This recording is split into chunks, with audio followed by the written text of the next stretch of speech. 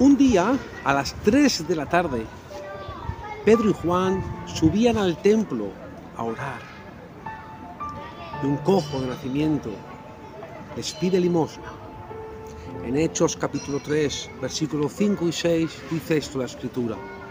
Él los miró atentamente, esperando que le dieran algo. Entonces Pedro les dijo, no tengo plata ni oro, pero te doy lo que tengo en el nombre de Jesucristo de Nazaret, levántate y anda. Podemos aprender aquí dos enseñanzas prácticas y sencillas para nuestras vidas. La primera es que tanto Pedro como Juan iban al templo con Jesús. No iban al templo en busca de Jesús como hacemos ahora en las iglesias, a buscar un encuentro. Dios no quiere un encuentro contigo, sino que quiere una relación, no solo a la, a hora de la iglesia, sino las 24 horas del día.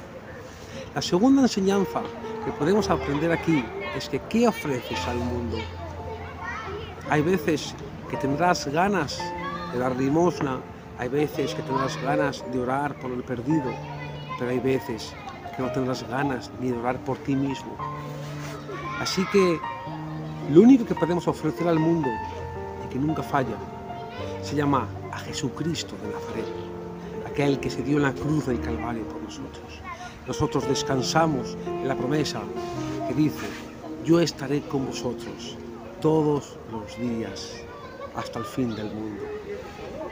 No ofrezcas algo que no tienes, ofrece a Jesucristo, predica a Jesucristo y recuerda que todo aquel que no tiene a Cristo es como este cojo que no podía entrar al templo por sí mismo. El ser humano es incapacitado y si no le predicaran, como dice la escritura, ¿cómo van a creer?